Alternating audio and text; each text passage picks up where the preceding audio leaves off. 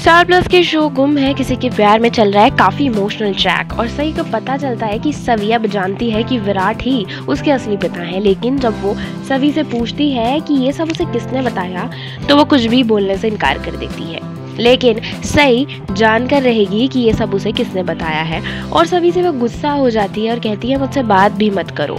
लेकिन सभी अपनी माँ को मनाने की कोशिश करती है और आखिरकार सही मान ही जाती है।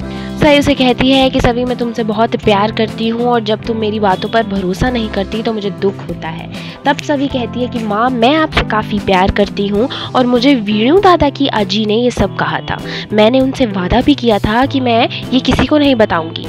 आपको बता दें कि शो के अपकमिंग एपिसोड में अब भवानी काकू आपको सई और विराट को एक करती हुई दिखेंगी। वो चाहती है कि सई और सभी चौहान परिवार में ही आकर रहे और सई को फाइनली मिल जाए विराट की पत्नी का दर्जा और सवी को मिले विराट की असली बेटी होने का दर्जा। लेकिन वहीं दूसरी ओर पाखी एज ऑलवेज सही से लड़ती झगड़ती है और कहती है कि ये बेचारी बनने का नाटक अब बंद कर दो।